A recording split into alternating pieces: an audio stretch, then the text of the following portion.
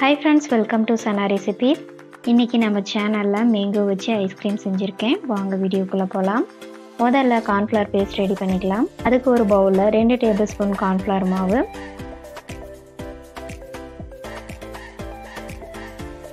கால் cup அளவுக்கு கெட்டியான காய்ச்சி ஆற வச்ச பால் சேர்த்து ஸ்பூனால் நல்லா கட்டி விடாத மாதிரி நல்லா கரைச்சி எடுத்துக்கலாம். நல்லா கரைச்சி எடுத்தாச்சு இப்போ இதை தனியாக எடுத்து வச்சுக்கலாம். கடாயில் ரெண்டு கப் அளவுக்கு பால் சேர்த்துக்கலாம்.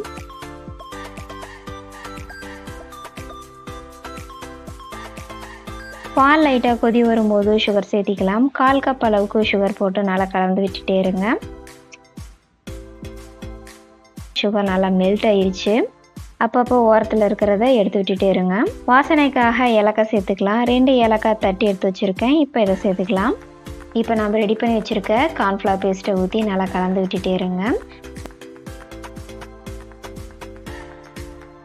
திக்கான கன்சிஸ்டன்சி வந்ததும் ஸ்டவ் ஆஃப் பண்ணிக்கலாம்.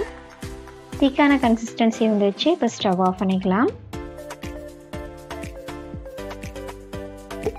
ஐஸ்கிரீம் செய்கிறதுக்காக நல்லா பழுத்த ஒரு மாம்பழம் எடுத்திருக்கேன். பழத்தை ரெண்டாக கட் பண்ணி எடுத்துக்கோங்க. உள்ளே இருக்கிற ஃப்ளஷை எடுக்கிறதுக்காக இந்த மாதிரி கட் பண்ணி எடுத்திருக்கேன்.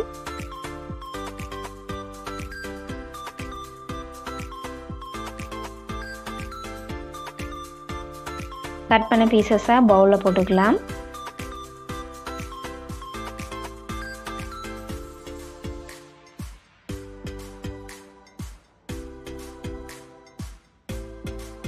கரெக்டாக ஒரு கப் அளவுக்கு இருக்குது ஜாரில் கட் பண்ண மேங்கோஸை போட்டு நல்லா ஃபைன் பேஸ்ட்டாக அரைச்சி எடுத்துக்கலாம்.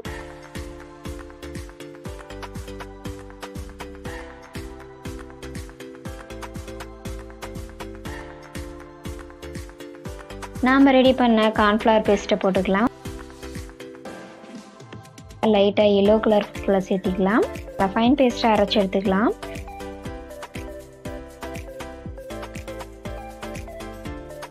ஃபுட் கலர் ஆப்ஷனல் தான். அரைச்ச பேஸ்ட்டை ஒரு பவுலில் போட்டுக்கலாம்.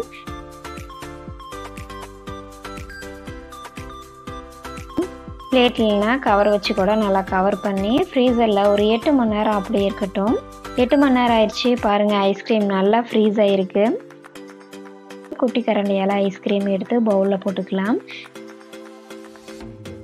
ஃபைனலாக டெக்கரேஷனுக்காக பாதாம் தூவிட்டுருக்கேன் அவ்வளோதான் மேங்கோ ஐஸ்கிரீம் ரெடி ஆயிடுச்சு. இந்த வீடியோ உங்களுக்கு பிடிச்சிருந்தா சனா ரெசிபீஸ்க்கு லைக் பண்ணுங்கள் ஷேர் பண்ணுங்கள் மறக்காமல் சப்ஸ்கிரைப் பண்ணிக்கோங்க. தேங்க்யூ